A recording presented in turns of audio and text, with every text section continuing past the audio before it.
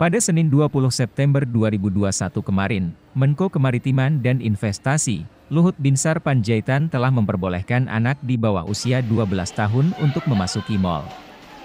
Akan dilakukan uji coba pembukaan pusat perbelanjaan bagi anak-anak di bawah usia kurang dari 12 tahun dengan pengawasan dan pendampingan orang tua. Salah satu orang tua yang mengajak anaknya ke mal mengatakan,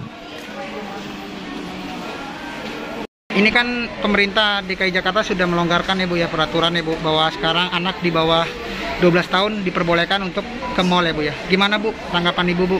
Ya alhamdulillah sih bisa belanja lagi buat anak-anak karena kan nggak mungkin anak-anak taruh di penitipan. Oh. Ada rasa khawatir nggak sih Bu sebenarnya kan karena anak Ibu belum divaksin? Sudah udah divaksin, kalau anak-anak belum ya. Tapi kan gimana ya? Emang kebutuhan terus ya Bismillah aja lah mudah-mudahan eh, bisa sehat semua. Ini ini per, ini perdana ya Bu ketika mendengarkan pengumuman itu Ibu langsung mencoba ya Bu Iya. ke mall ya. Iya.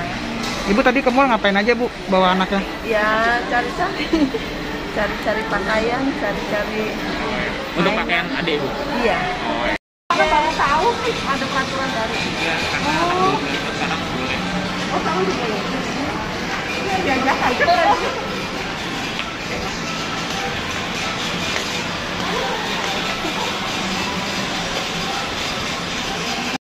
Gimana Bu? Tanggapannya Bu kan hari ini diperbolehkan bahwa anak di bawah usia 12 tahun diperbolehkan untuk masuk dalam mall ya Bu ya. Gimana Bu tanggapannya Bu hari ini? saya sih senang anak eh, anak pantaran anak saya udah diperbolehkan masuk Ibu tahu Ibu tahu nggak peraturannya sebelumnya bahwa memang hari ini diperbolehkan atau belum memang sih karena saya nggak ada yang jagain ya udah saya bawa aja. Biasanya anaknya sehari-hari ke mana aja nih Bu? Karena selama mall baru belum ini doang keluar baru ini doang. biasanya di rumah aja. Tadi ke mana aja nih Bu?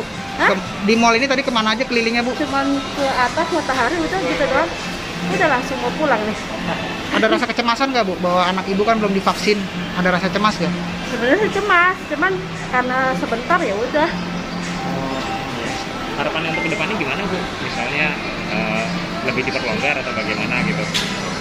Sebetulnya ibu sendiri setuju nggak dengan aturan ini yang memperbolehkan anak kecil itu? Ya kalau menurut saya kalau emangnya sudah aman, ya setuju-setuju aja. Kalau sudah aman ya, setuju aja.